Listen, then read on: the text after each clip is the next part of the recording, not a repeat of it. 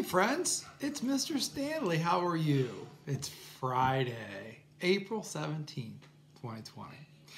So uh, here we are, another week of online learning complete. Uh, it is going to be pretty cold today. It's going to feel more and look more like winter than it is spring, but it is Northeast Ohio and that's what we do. So it's going to be a high of about 38 degrees with a lot of clouds and some snow today. So be outside looking for those snowflakes. We have PE and art today as our specials. For our language arts session today, uh, we have uh, two very quick videos. Um, one video is from Mrs. Bula, and she is going to be um, kind of telling you what our next step is going to be, and we're going to kind of connect reading with the fairy tales today. So it's going to be her just telling you what to listen for when you hear a read aloud. So the second video is a read aloud in your readers, I'm sorry, in your language arts Google Classroom. Really, there isn't hardly any work at all, unless you feel the need to jot down some notes watching the video. But really, uh, today is kind of just a listen day, so that's very nice. Today is uh, the uh, for math we have a problem string. Um, we have about seven different multiplication problems to complete and turn in. Um, if you want to print out the problem string, take a picture of the problem string and turn that in. Some of you have been doing that. Good work. Some of you rather just prefer to type out your answers um, and how you solve them. That's fine too. Okay, so however you feel um, that you can show me your thinking with the problem string, it's fine with me.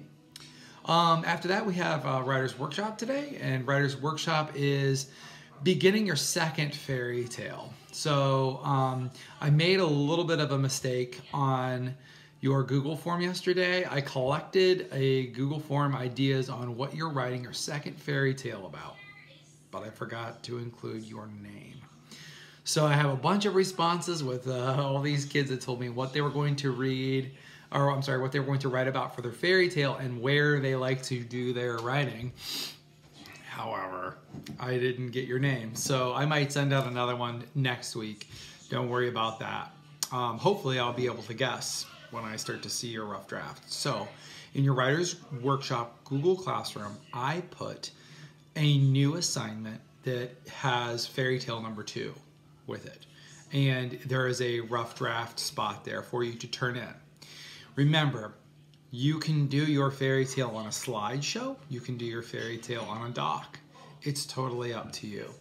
Um, and uh, or you can write it in your notebook. That's fine.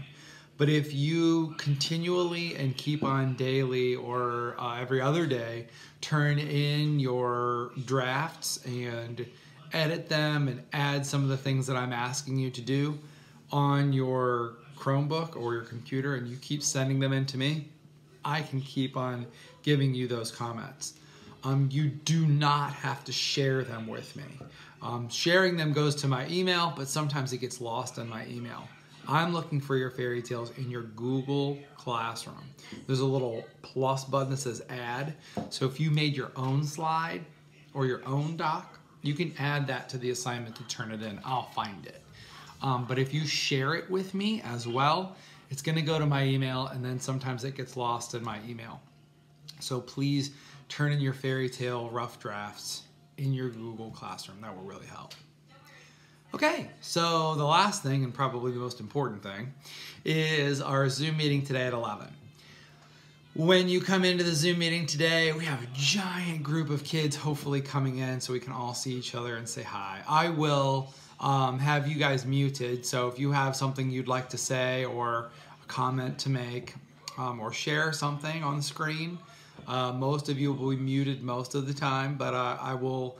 Um, if you guys put your hand up in the little the little icon that says you know put your hand up or you want to say something, you can either uh, put your hand up in the little icon thing, um, and I can unmute you and you can say something to the class.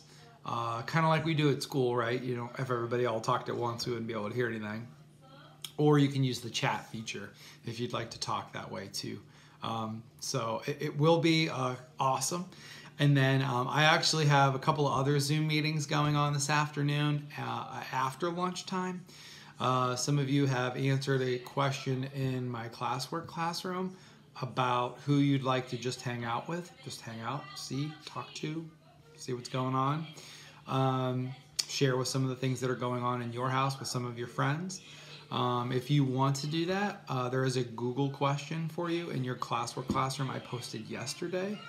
Answer that question. So if there's somebody or a buddy that you or a couple buddies that you want to meet up with and just hang out and talk with, um, I'll be more than glad to set up a Zoom with you. Um, I'll probably be in my office working while I listen to you talk, so I make sure it's appropriate, but I won't be in on the conversation. You guys can just kind of have it's kind of like having an indoor recess, um, but on a video. So, anyway, because um, it's important to see our friends, we really have to have. Um, we really have to be able to see our friends. I know we can't always hang out and play the way we want, but um, this is kind of our, our new for just a little while. Hopefully, you guys all have a great Friday and have a fantastic weekend. Stay warm. Um, yeah, if it snows enough, we can make a couple snowballs. That would be kind of fun. The last one of the day. Do you want to say have a good weekend? Say have a good weekend. Have a good weekend. Okay, all right. You guys have a good weekend, and we will see you next week.